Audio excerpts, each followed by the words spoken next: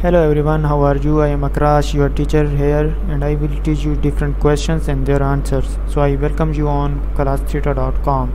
So our today's question is Which of the following is true of the history pane in Microsoft Edge? A. It lists web addresses you have marked as favorite.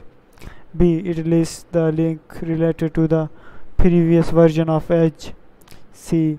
It lists lists the link related to history and evolution of Edge. It lists web addresses for the websites you have visited.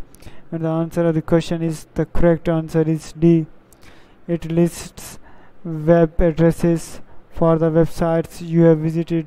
The history pane in the Microsoft Edge is displays a list of web addresses, URLs for the websites you have visited during browsing session. This allows you to quickly access sites you have previously visited without having to type in the URL again. Thank you for watching the video. If you have any question related to this video, please post a comment below.